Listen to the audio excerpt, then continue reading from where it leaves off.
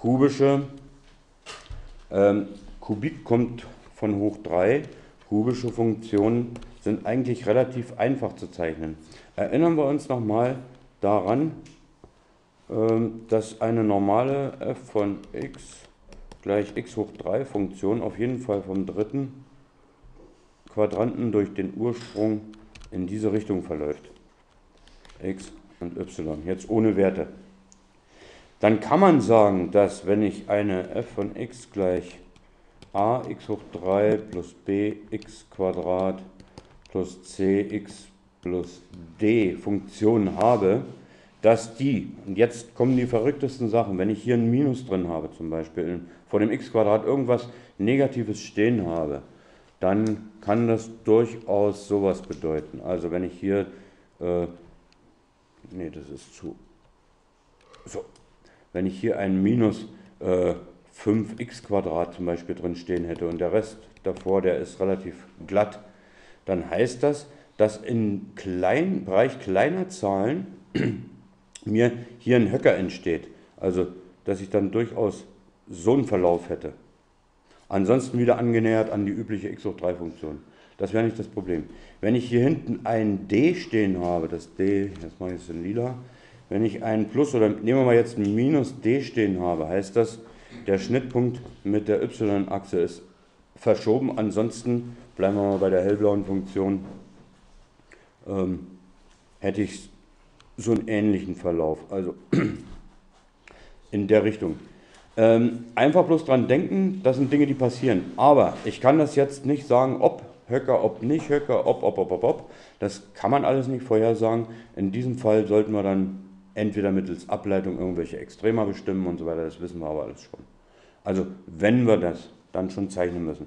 Wir brauchen diese ganze Übung aber, ähm, um mal ein bisschen zu verallgemeinern. Ich bleibe mal bei der kubischen Funktion und nehme mal dieses Beispiel.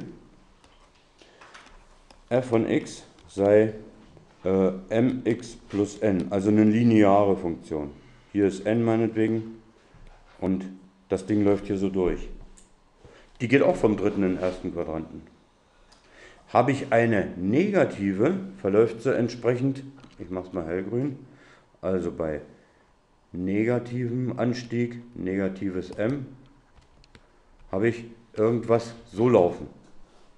Irgendwie vom vierten in den zweiten Quadranten. Gucken wir uns hier oben nochmal die Funktion an.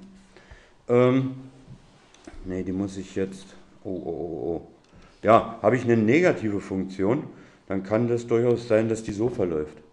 Geht euch ein Licht auf? Genauso ein Gleichnis gibt es äh, zu den quadratischen Funktionen. Ich habe hier eine Parabel, die ist in diesem Fall nach unten geöffnet. Ob die x Quadrat, x hoch 4, x hoch 6 oder sonst was heißt, das ändert sich dann lediglich. Nehmen wir mal eine ähm, f von x sei minus x hoch 4. Dann läuft die im Wesentlichen ähnlich, aber ist hier in diesem Bereich etwas gestauchter, hier in kleinen Werten. Ist auch logisch, wenn ich 0,1 mal 0,1 nehme, kann ich nicht erwarten, dass viel an y-Wert rauskommt. Also das wäre in diesem Fall negativ heißt, die Parabel ist nach unten geöffnet, positiv nach oben geöffnet. Hat sie einen geraden Exponenten 4, 6, 8, 2, dann bleibt das im Wesentlichen eine Art Parabel. Ist eine Funktion mit einem ungeraden Exponenten versehen, denn hier steht eigentlich ein x hoch 1. Dann verläuft sie vom dritten, grundsätzlich, vom dritten in den ersten Quadranten. Es sei denn, es steht wieder ein Minus als m davor, dann verläuft sie entsprechend andersrum. Das geht auch der x hoch 3, x hoch 5, x hoch 7 und so weiter Funktion so. Das bis dahin. Also da sollten wir uns immer dran gewöhnen. Wenn wir aber uns jetzt nicht die Mühe machen wollen, äh, bei solchen, gerade bei solchen, die eventuell irgendwelche Höcker drin haben könnten, weil sie sich nämlich durch mehrere Glieder hier zusammensetzen, ähm, das kann mir auch bei den quadratischen und ähnlichen so gehen, dann sollte man sich eine kleine Wertetabelle basteln. Und mit der kleinen Wertetabelle kann man dann entsprechend was machen. Ich möchte nochmal grundsätzlich daran erinnern, oh, grundsätzlich daran erinnern, an das Wort ähm, zum Skizzieren, wenn man mal zu Hause nicht weiterkommt, Wolfram Alpha, Wolfram Alpha. Dieses Wort bei Google eingegeben lässt uns eine mathematische äh, Rechenmaschine erscheinen, die uns alles mögliche, sogar Ableitungen oder, oder, oder, oder, oder liefert. Selbst äh, komplizierteste Lösungsformeln, wir wissen ja, PQ-Formel ist die typische für quadratische Gleichung und bei, schon bei einer kubischen Gleichung, dann explodiert so eine Gleichung zu ungefähr na, zwei Zeilen lang. Gut, das nochmal als, ähm, als Zusammenfassung des bisherigen. Das waren also rationale Funktionen, die nicht gebrochen waren, wo kein Bruch drin stand. Kommen wir mal zu ein bisschen, scheinbar ein bisschen schwierigeren. Und zwar zum Fall, was hatte ich hier drittens, jetzt schreibe ich auch viertens. Ähm, und zwar gebrochen rationale Funktionen.